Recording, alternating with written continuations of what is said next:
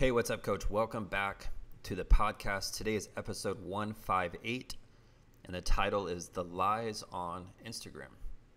Before we dig into the episode, make sure and leave us a review here on iTunes. That greatly helps out the show. This way, we can get this podcast in front of more coaches around the world. And if you enjoy the episode, make sure and share it on social media, tell other coaches about it I want to really create a movement here of coaches that are building strong businesses. And the best way you can help me, the only thing I ever ask on these podcasts is just share these messages, leave us a review, and um, again, that really helps out the show. Now, on today's message, I don't want to be the guy who's always salty about Instagram. But the more time I've spent on there, the more I've realized how much people lie about everything. And I'll give you a really good example. There's a lot of trainers out there, and I would assume none of these types of trainers listen to this podcast because I don't think they're that serious with their business. Hopefully, they don't. If they do, then they might hear me talking about them in, t- uh, in today's episode. But I, I see a lot of coaches, what they'll do is they will take photos of them and like a pro.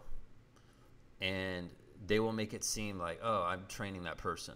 Or oh this person vouches for what i do.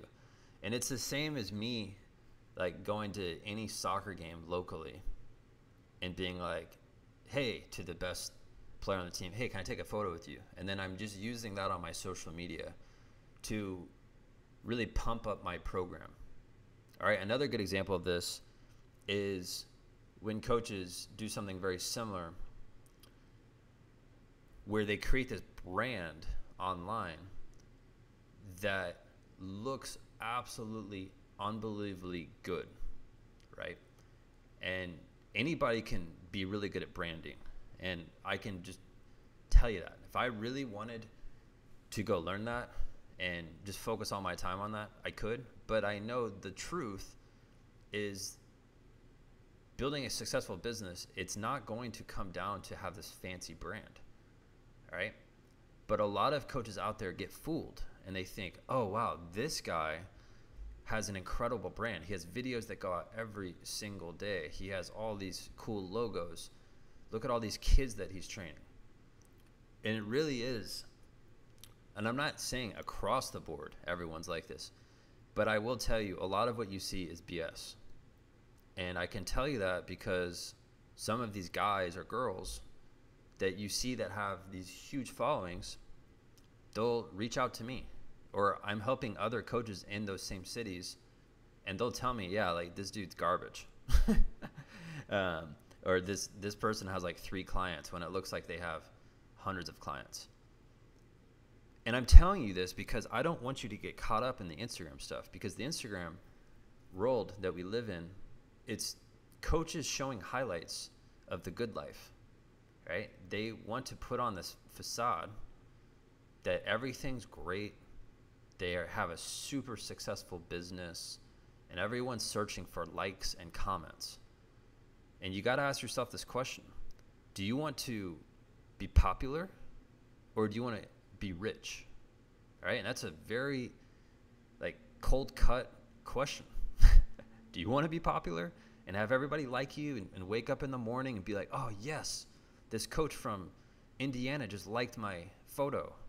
Or do you want to have a successful business where you're actually helping kids and you're not having to fake anything?